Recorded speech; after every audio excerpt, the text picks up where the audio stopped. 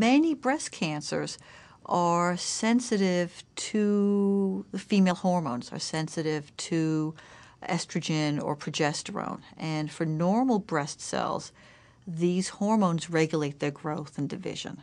So, cancers that are not very wild, that are not uh, very aggressive, are still sensitive to the normal controls that control breast, normal breast cell growth and development. So, many cancers will be sensitive to um, estrogen, can be stimulated by estrogen presence. So, we've d- developed uh, a number of medications that block estrogen, that block the surface of the breast cancer cells so that the estrogen cannot bind to the cell and stimulate it. Uh, the most well known medications, tamoxifen.